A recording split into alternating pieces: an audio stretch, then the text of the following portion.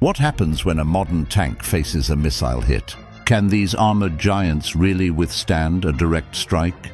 Or are they just targets waiting to be destroyed? Stay with me, because the answer is more surprising than you think. Tanks are built with layers of advanced armor designed to absorb and deflect explosive force.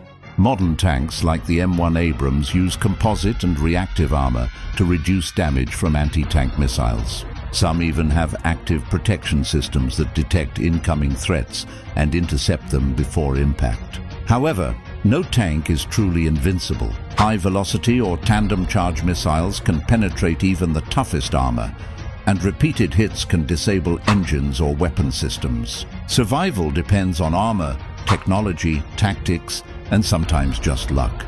In the end, tanks are designed to take a beating, but even these steel monsters have limits.